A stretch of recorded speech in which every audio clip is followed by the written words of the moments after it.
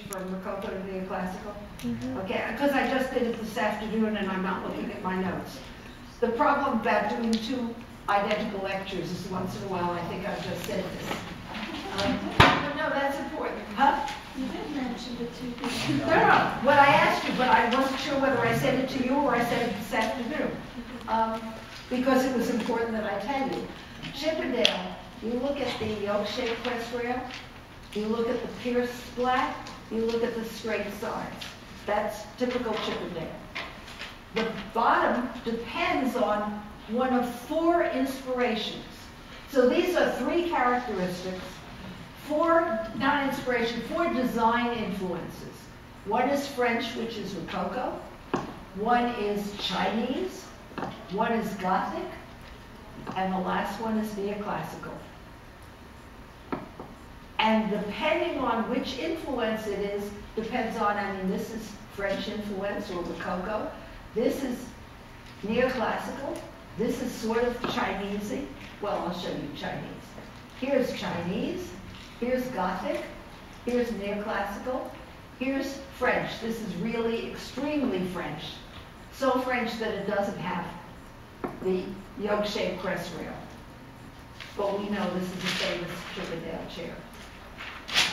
And here's another one. This one, famous because it was designed by Adam. Much, really atypical of Adam's style because it's so heavy. I'm showing you this to remind you, if you're a very expensive, very expensive, very important client who wants a very elaborate armchair, Robert Adam isn't going to say, I don't do elaborate things. He's going to do you a fancy armchair.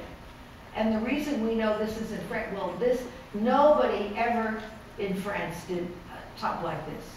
This tells you it's a Chippendale. This tells you, doesn't tell you necessarily that Thomas Chippendale made it, but this is only existing in Chippendale style.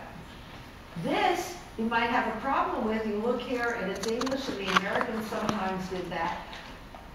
You don't really tend to see an American piece this elaborate and this gilded. You also don't tend to see a French piece this heavy in proportion and never with this kind of top.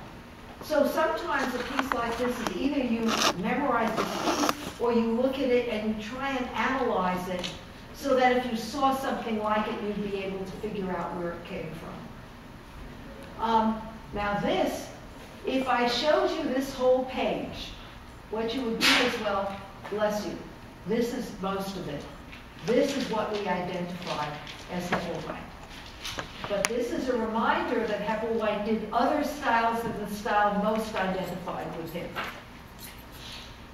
It's not like you're an original designer and you design one of this. He was making a furniture catalog. Furniture catalog means I'll make whatever you like of the currently popular styles. So he made the style identified with him most. He made lots of those. Maybe he originated it. And the heart-shaped, oval-shaped backs were also Hepplewhite.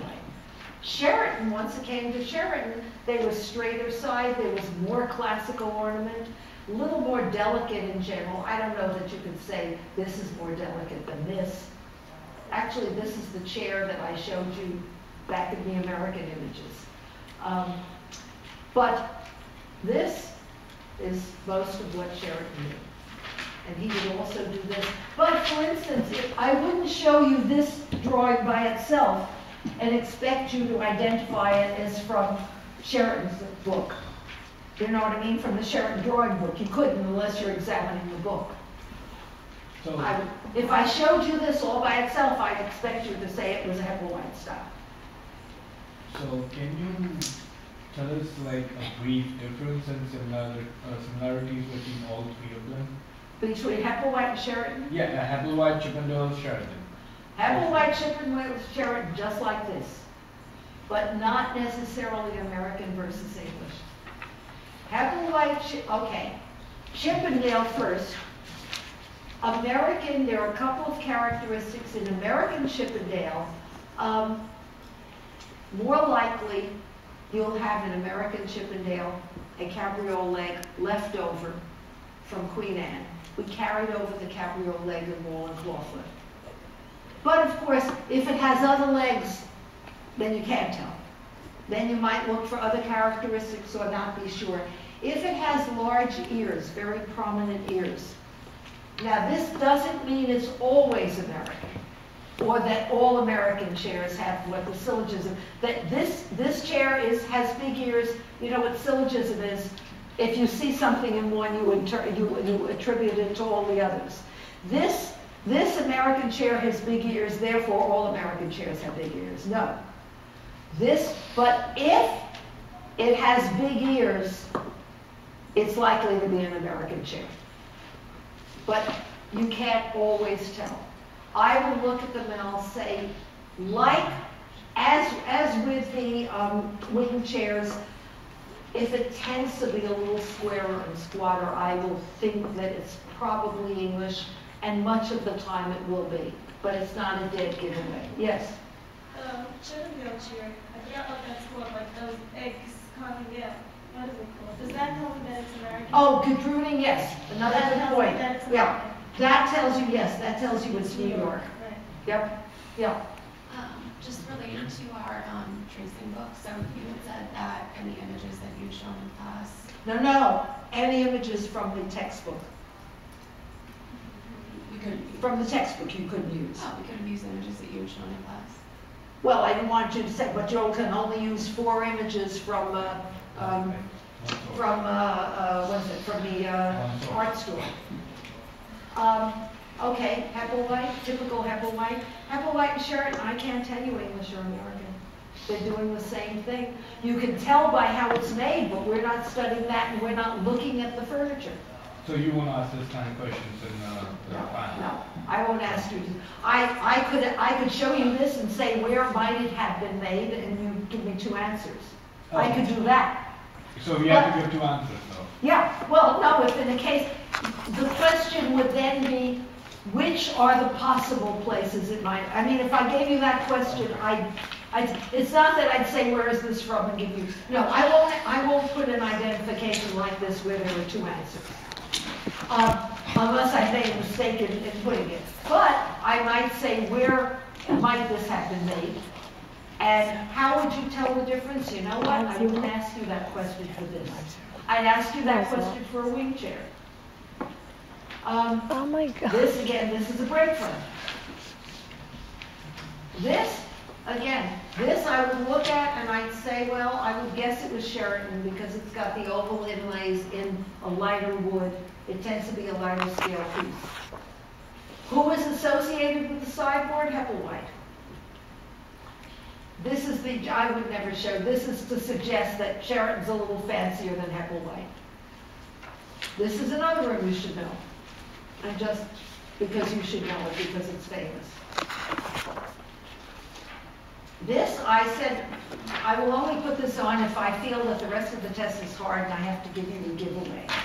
Because this is a very easy to recognize piece with no, well, it, you notice that I gave you the period of English Regency. I didn't give you a style because it has no particular style. These join versus turn. Decoration here is, this is, remember? Chip carving. The other kinds of decoration would be painting or split spindles. And I'm not showing you split spindles are when you cut this in half, these in half, and you put one on to look like a pilaster. Here are split spindles on the court cupboard. The gate leg table and the Windsor chair are two things that were invented in England and very popular in America. You need to know these terms. The rocker, forget whether it's Boston or not. I mean, I happen to have photographed this one. But a rocket chair and the Hadley chest were invented in America. And the Hadley chest is a combination of the blanket chest on top and drawers at the bottom. And this is again chip carving. And you identify it by the three recessed panels also. And tall boys, whether American or English, both of these are American. Um, the English would tend to have, in general, heavier legs. But all of them, four legs in the front in William and Mary, four legs in the front, two legs in the back, and